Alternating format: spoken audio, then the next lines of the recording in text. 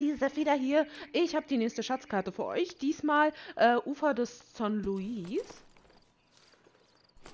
Und dann zeige ich euch noch ganz kurz auf der Karte, wo das ist. Das ist nämlich auch schön im Wilden Westen.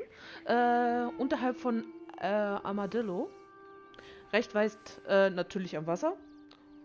Beim San Luis. Ähm, so, ich habe jetzt hier in der Nähe schon mal angefangen. Der Schatz soll genau hier in diesem Gebiet vor uns sein. Äh, ich glaube, ich muss ein bisschen vorsichtig sein. Es kann gut sein, dass hier der ein oder andere Stein ist und ich mich dann hinpacke. Wäre nicht das erste Mal. Passiert uns ja jeden Mal. Ähm, oh, da ging es schon ein bisschen runter. Und dann gucken wir doch mal. Bis jetzt äh, spüre ich auch noch nichts. Oh, doch. Jetzt geht es langsam los. Äh, ein paar Tiere.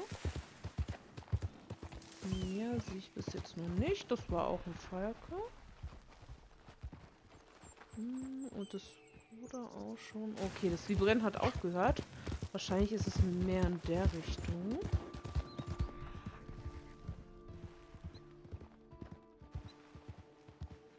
Ja, es wird langsam stärker und stärker. Und jetzt wird es wieder schwächer. Oh. oh, da haben wir ihn ja. Mensch. Genau hier haben wir ihn, unseren Schatz.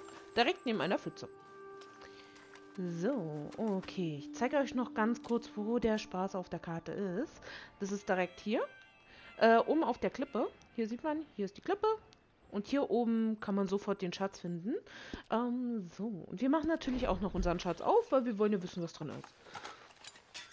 Ich gehe ganz stark davon aus, dass es ein paar Dollar sein werden.